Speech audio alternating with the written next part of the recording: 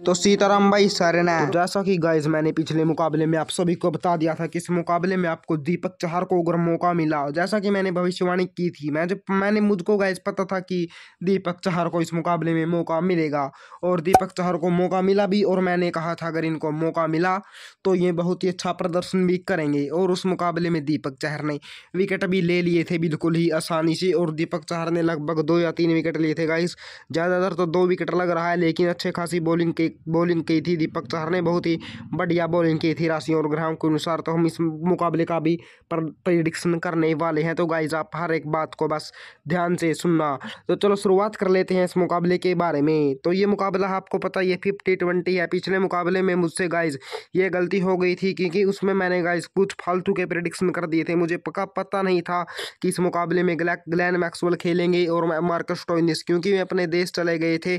बहुत सारे कमेंट भी आए थे, क्योंकि गाइज़ मैं अपने राशि और ग्रह के अनुसार कॉपी में लिख के रखता हूँ, सब खिलाड़ियों के नाम और उनके साथ देख कर बता देता हूँ। लेकिन अब की बार गाइज़ मैंने जी हाँ गाइज़ अब की बार मैंने सारा का सारा डाटा गाइज़ गूगल से लिया है। गूगल से पता कर लिया है कि इस मुकाबले में कौन से खिलाड़ी खेल सकते हैं और कौन से खिलाड़ी नहीं। तो गाइज़ अब वीडियो की बात करते हैं हम सबसे पहले इंडिया के खिलाड़ियों के बारे में।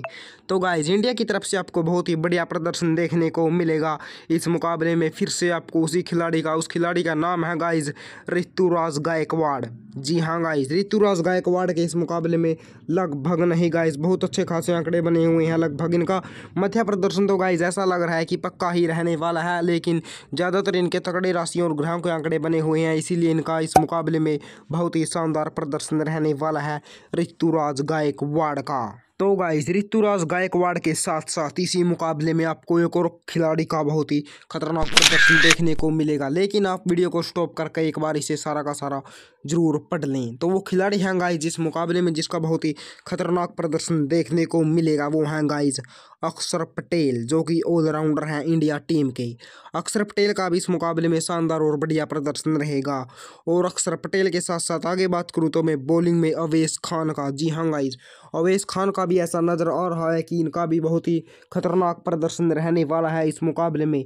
लेकिन गाइस इस खिलाड़ी के बारे में मुझे थोड़ा सा डाउट है। मैं किसी भी खिलाड़ी के बारे में वैसे ही हवा में बात नहीं करूँगा। जिसके बारे में मुझे थोड़ा सा भी डाउट होगा तो मैं आपको बताऊँगा। मुझे थोड़ा सा डाउट अवेश खान के ऊपर है, इसीलिए मैं आपको बता दे रहा हूँ। लेकिन ज़्यादातर ऐसा लग रहा है कि अवेश खान का इस मुकाबले में शानदार ही प्रदर्शन रहने वाला है। तो गाइस अगले नंबर पर बात कर लेते हैं हम इंडिया की तरफ़ से।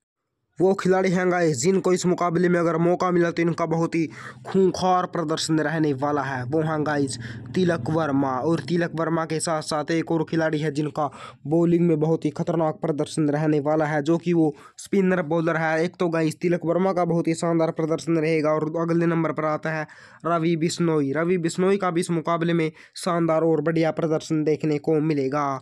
तो चलो गाइज़ अब हम बात कर लेते हैं ऑस्ट्रेलिया के बारे में। तो गाइज़ अगर मैं ऑस्ट्रेलिया के बारे में बात करूँ तो आप बस ध्यान से सुनना, मेरे पास ऑस्ट्रेलिया के खिलाड़ियों के बारे में ज़्यादा जानकारी नहीं है। लेकिन जितनी भी है, थोड़ी है गाइज़ लेकिन बहुत ही कारगर साबित होगी, बहुत ही तगड़ी साबित होगी इस मुकाबले में वो जानकारी। तो गाइज़ मैं हर एक खिलाड़ी के बारे में बात करूँगा लगभग। तो सबसे पहले मैं बता देता हूँ, इस मुकाबले में टेरिस हेड का प्रदर्शन इस मुकाबले में ऐसा नज़र आ रहा है कि मध्य से कम का रहेगा। और अगले नंबर पर नाम आता है गाइज़ नेथन एलिस का। तो नेथन एलिस का इस मुकाबले में बहुत बहुत बहुत बढ़िया प्रदर्शन आपको देखने को मिलेगा। यानी नेथन एलिस का इस मुकाबले में बीच का प्रदर्शन तो गाइज़ पक्का रहेगा, लेकिन बीच से ज़्यादा अच्छा प्रदर्शन भी रह सकता है नेथन एलिस का। तो गाइज़ अब मैं आपको इंडिया के बारे में बता देता हूँ। तो इंडिया की तरफ़ से आपको इस मुकाबले में सूर्य कुमार यादव का ज़्यादातर तो ऐसा नज़र आ रहा है कि मध्य प्रदर्शन रहेगा या मध्य से नीचे भी रह सकता है सूर्य कुमार यादव का प्रदर्शन। और ईशान किशन का भी कुछ ऐसा ही प्रासियों और ग्रहों के अनुसार आंकड़े बने हुए हैं। ईशान किशन का भी या तो मध्य प्रदर्शन रहेगा या मध्य से नीचे भी रह सकता है। ईशान किशन का प्रदर्शन राशियों और ग्रहों के अनुसार, जो कि मैं आपको भी बता रहा हूँ। तो अगले नंबर पर नाम आता है गाइज़ प्रसिद्ध कृष्णा का। प्रसिद्ध कृष्णा के भी ऐसे ही आंकड़े बने हुए हैं मध्य से कम प्रदर्शन के। इनका भी गाइज़ मध्य प्रदर्शन रहेगा या मध्य से कम का प्रदर्शन रहेगा। बस आप हर एक बात को ध्यान से सुनते जाना। अगर गाइज़ मैं रिंकू सिंह की बात करूँ तो इस मुकाबले में रिंकू सिंह का प्रदर्शन लगभग अच्छा प्रदर्शन रहने वाला है। यानी कि मध्य प्रदर्शन रहेगा। मध्य से ज़्यादा अच्छा प्रदर्शन भी हो सकता है, लेकिन ऐसा नज़र आ रहा है कि मध्य तीन का प्रदर्शन रहेगा ही। लेकिन तिलक वर्मा को अगर मौका मिला तो तिलक वर्मा का खतरनाक प्रदर्शन रहने वाला है। इस मुकाबले में बहुत ही बढ़िया शानदार प्रदर्शन रहने वाला है और ऋतुराज गायकवाड़ के भी कुछ ऐसे ही नज़र आ रहे हैं आंकड़े। तो इसी के साथ साथ गाइस, वीडियो में बस इतना ही। वीडियो पसंद आए तो लाइक कर देना, चैनल को भी सब्सक्राइब कर देना। धन्यवाद।